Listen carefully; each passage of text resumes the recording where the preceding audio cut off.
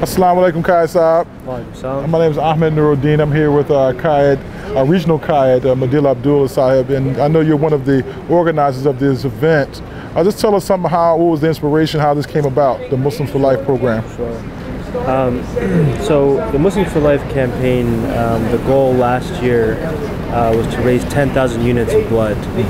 And alhamdulillah, they raised over 11,000 units of blood last year. Um, and the idea of the 10,000 was um, on September 11th, um, 3,000 people lost their lives on September 11th. And with 10,000 units of blood, um, each unit of blood saves three lives. Okay. So that would be 30,000 lives saved. Um, that's 10 times the amount that were lost on September 11th. Alhamdulillah. So with that inspiration, uh, this is the second year we're having this Muslims for Life campaign.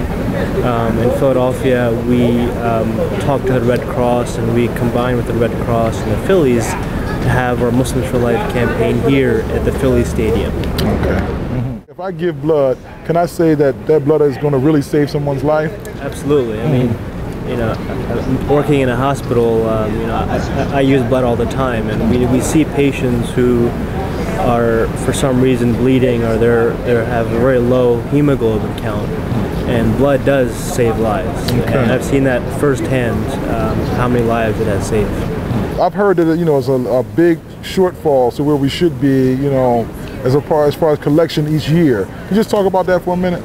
Sure. So um, across the nation, there's a 15-year shortage of blood, mm-hmm. um, and uh, the Red Cross, um, along with Muslims for Life and other organizations, are really pushing hard to raise more and more blood. Mm-hmm. Um, here at this drive, um, so far there's been about uh, 1,700 units, or 1,700 people have signed up to donate blood. Alhamdulillah. Well, may Allah bless your efforts, brother.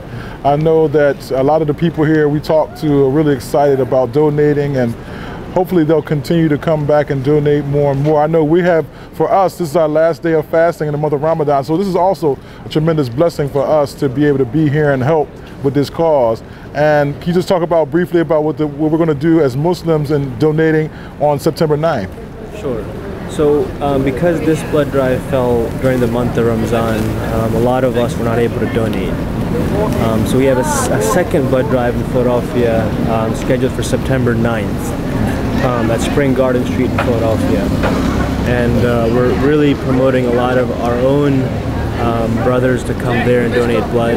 Um, it's a much smaller blood drive, so we have about 30 units can only be donated that day. Okay. But that's really for our own membership. Oh, okay. I thank you very much, Dr. Saab, for your help. All right. Assalamu alaikum wa rahmatullah.